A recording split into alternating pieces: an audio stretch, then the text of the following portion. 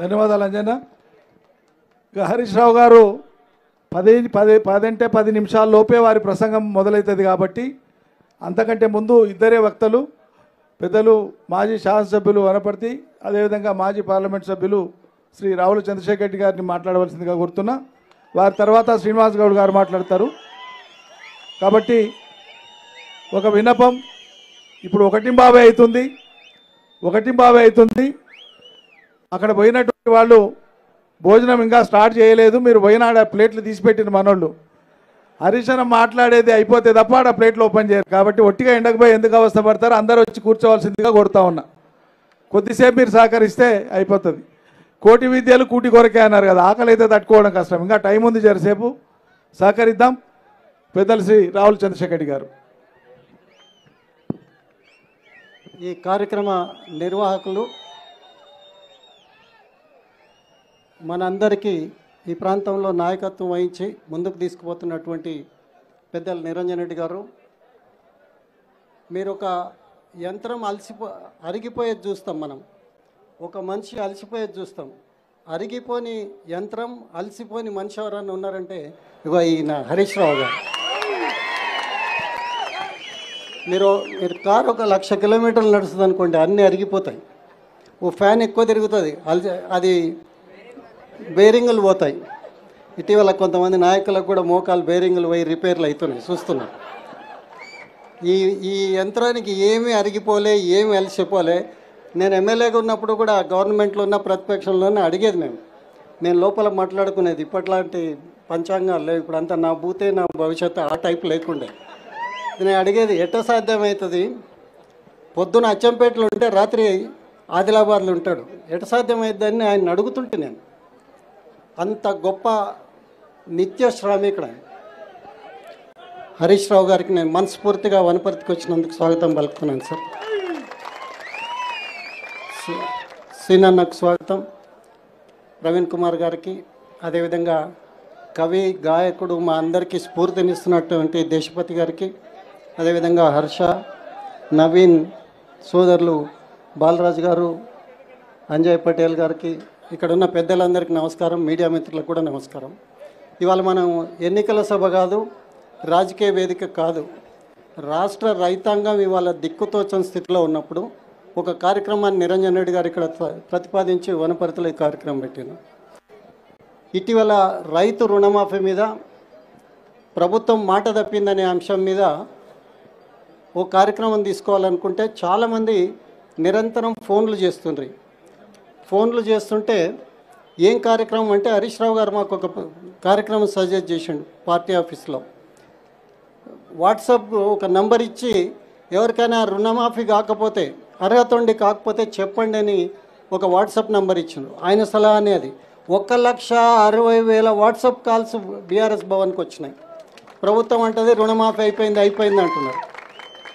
ఈ ఒక లక్ష అరవై వేల ఆ నేమ్స్ కానీ ఫోన్ నెంబర్లు అన్నీ కానీ వారికి సమర్పించినాం.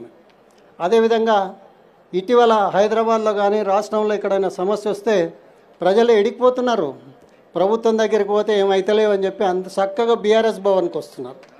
అది మన వాళ్ళు అంటున్నారు జూనియర్ ఎన్టీఆర్ సినిమా ఒకటి ఉండే జనతా గ్యారేజ్.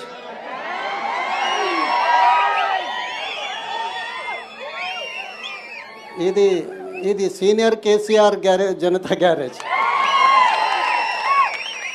అందరు ఆడికే వస్తున్నారు. హైడ్రా అంటే ఆడికే వస్తున్నారు. నేను ఒకరోజు పొద్దున్నే ఏడు గంటలకే ఈ మూసీ బాధితులు భవన్కి వచ్చిండ్రు. నాకు అంతకుముందే హరీష్ రావు గారు ఫోన్ చేసిండ్రు అన్న ఎవరో మన వాళ్ళంతా అక్కడికి వస్తున్నారంటే మీకు ఏమైనా ఐడియా ఉందంటే వాస్తవంగా కూడా నాకు ఐడియా లేదు కనుక్కుంటు సార్ అన్న. ఆయన అంతకుముందే లేచిండు వాళ్ళ గురించి కనుక్కున్నాడు మళ్ళీ నాకు ఫోన్ చేశాడు నేను పరిగెత్తిపోయి అక్కడికి భవన్కి పోతే ఆయన లోపల ఆయన వచ్చేసిండు. ఆ రోజు స్టార్ట్ అయితే ఇప్పటి వరకు ఆగలే. హైడ్రా బాధితులు మూసీ బాధితులు నిరంతరం వస్తూనే ఉన్నారు. హరీష్ రావు గారు కేటీఆర్ గారు ఒక మాట చెప్పిండ్రు. భవన్కి ఎవరైనా వస్తే వాళ్ళు ఆకలితో పోకుండా భోజనం పెట్టి పంపండి అనేది కూడా వాళ్ళు సజెస్ట్ చేసిండ్రు. అదే నడుస్తుంది ఇప్పుడు భవన్లో. ఈ సమస్యల పరిష్కారం కోసం ప్రభుత్వం దగ్గరికి పోతే వైఫల్యం చెందిన వాళ్ళు బీజేపీ ఆఫీస్ దాటి వస్తున్నారు కాంగ్రెస్ ఆఫీస్ దాటి మన దగ్గరికి వస్తున్నారు. అంటే నమ్మకం ఎవరి మీద ఉంది? కేసీఆర్ గారి మీద ఉంది బీఆర్ఎస్ మీద ఉంది అనేది సందర్భంగా మరొకసారి మీకు చెప్తూ రాబోయే రోజులలో ఇవాళ మనం అందరం కొత్త డిమాండ్లు ఏమైనా చేసినామా? ఇక్కడ కూర్చున్న వాళ్ళు నిరంజన్ రెడ్డి గారు ఉండి కాగితం చూపమన్నారు మనం చెప్పినవి కానే కాదు మీరు చెప్పిన మాటలు మీకు గుర్తు చేస్తున్నాం. సంవత్సరం కావస్తుంది రేపు డిసెంబర్ ఏడు వస్తే ఒక సంవత్సరం అవుతుంది. నూరు రోజులలో మీ దగ్గర ఆకాయుధం కూడా ఉంటుంది. నూరు రోజులలోనే ఈ హామీలు అమలు చేస్తామనే ఒక వాగ్దానం అడ్వర్టైజ్మెంట్ కూడా మీ దగ్గర ఉంటుంది. అది గుర్తు చేసే సభ ఇది. అదేవిధంగా రైతులు రైతులు ఇవాళ దేశానికి అన్నం పెట్టిండ్రు. వ్యవసాయం అంటే ఏముంటుంది? దాన్ని విడదీస్తే వ్యయమే చేస్తున్నారు తప్ప వాళ్ళకి సాయం దొరకడం లే. వాళ్ళ పక్షాన నిలబడి పోరాటం చేసే ఒక సందర్భం ఇది. ఒక వేదిక ఇది. ఈ సందర్భంగా నేను మిమ్మల్ని అందరినీ కోరుతున్నా. వచ్చేటప్పుడు దారిలో కూడా పాటలు వినుకుంటూ వస్తుంది సారే రావాలే మళ్ళీ సారే రావాలని తెలంగాణ పల్లె. రావాలనా? రావాలనా? వస్తాడు. ఈ లోపల మనం ఏం చేయాలంటే నిరంజన్ రెడ్డి గారు అనుపరితలో ఏం ప్రోగ్రామ్ ఇస్తే తూచా తప్పకుండా అందరం పాటిద్దాం. ఒక ఒక అరగంట లోపల ఈ కార్యక్రమం ముగుస్తుంది. అక్కడ భోజనానికి వెళ్ళిన ప్రదర్శన కూడా అందరిని ఇక్కడికి రమ్మంటున్నాం. మనం ఎదురు చూస్తున్నాం. నేను అనేకసార్లు ఆయన నిన్న హరీష్ రావు గారిని అనేక సార్లు నేను అసెంబ్లీలో బయట స్పీచ్లు విన్నా నిన్న ఒక ప్రెస్ కాన్ఫరెన్స్కి పార్టీ ఆఫీస్కి వచ్చిండు. మేమే ఎమోషనల్ అయినాము ఆయన మాట్లాడుతుంటే. బయట రూమ్ బయట రూమ్లో కూర్చొని లైవ్ చూసుకుంటా. సో అంత ఎక్స్ప్లోజివ్ ఉంటుంది అంత ఎక్స్ప్లనేటరీ ఉంటుంది అంత ఎన్లైటనింగ్ ఉంటుంది ఆయన.